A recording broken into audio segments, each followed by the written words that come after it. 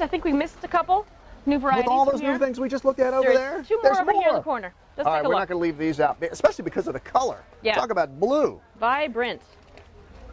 Uh, Superbena Oh, wait, Royale. wait, wait, I'm sorry. I'm sorry. You know what? this reminds me of? This know. color, P. Allen Smith's shirt. Yes. Because Hence- he always wears chambray. Right. And the name of this is Royal Chambray. Royale Chambray.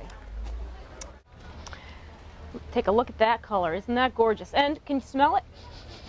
Sweetly fragrant, slightly sweetly fragrant. Now here's the key. Royale is the beginning of a new series. If you see Royale attached to their verbena, it's for this new habit, which is uh, really, they call it a better habit. Very flat across the top, very upright flowers.